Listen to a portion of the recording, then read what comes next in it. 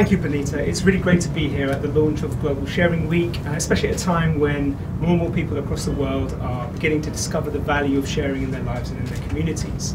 Um, as Benita said, I run a, a civil society organisation that cam campaigns for a fairer sharing of wealth, power and resources, both within and between countries. And as the, the name suggests, share the world's resources. Um, the practice and ethic of sharing is central to our advocacy and our research work. For us, the growing interest in the sharing economy in recent years uh, signals an important shift in consciousness that could potentially transform the way we understand and address most of the um, most urgent crises humanity faces. These include, of course, poverty and inequality, climate change, and the broader environmental crisis, but even um, military conflict over land and resources, as Lord Stern mentioned earlier. As we all know, the sharing economy presents a radical departure from traditional business models, allowing people to simultaneously reduce their carbon emissions, save money, and strengthen communities. But in order to make um, the really difficult transition to a more equal and sustainable world, we need to recognize that sharing is also pivotal to how we restructure all aspects of our social, political, and economic systems in the 21st century.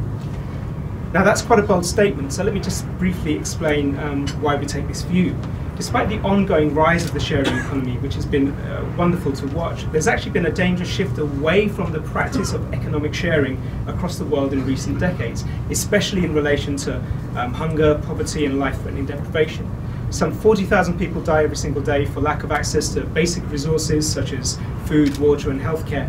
Um, and you might have heard earlier this year, Oxfam put out a report that suggested um, sometime quite soon, I think next year, 1%, the richest 1% of the world's population will own the same amount of wealth as all the rest of us combined. We also need to find more effective ways of sharing the global commons. Humanity is now consuming natural resources 50% faster than the planet can replenish them. In fact, the average person in this room has a, a global, a sort of ecological footprint of three and a half planets.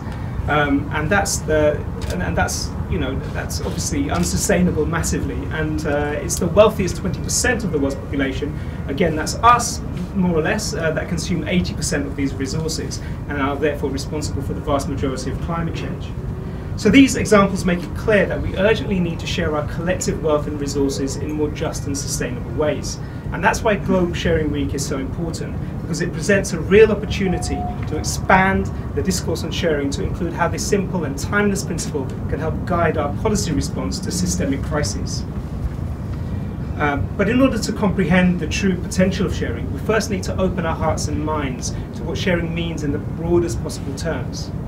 Ultimately, it's about recognizing that we only have one planet Earth that all people are part of an extended human family with the same basic rights and needs, and that strengthening all genuine forms of sharing can play an important role in securing these needs universally.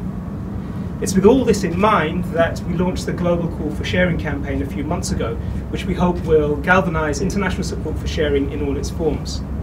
In our campaign report called um, Sharing as Our Common Cause, I've got a few copies of them if, um, if anybody would like one.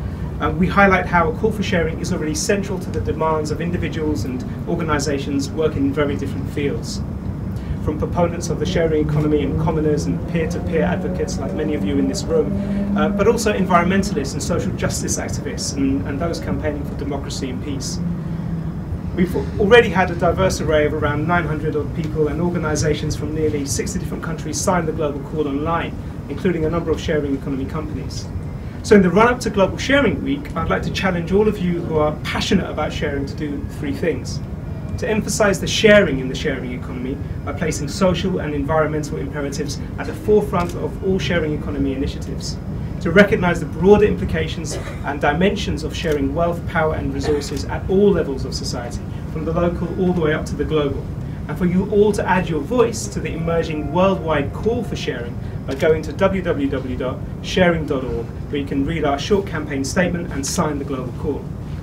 I've actually left some um, information on the sharing table if anybody would, would, would uh, like any more information about any of this, or you can just approach me, I'll be here. So I'll leave it at that. Um, thank you very much, and uh, here's to a success, successful Global Sharing Week. Thank you.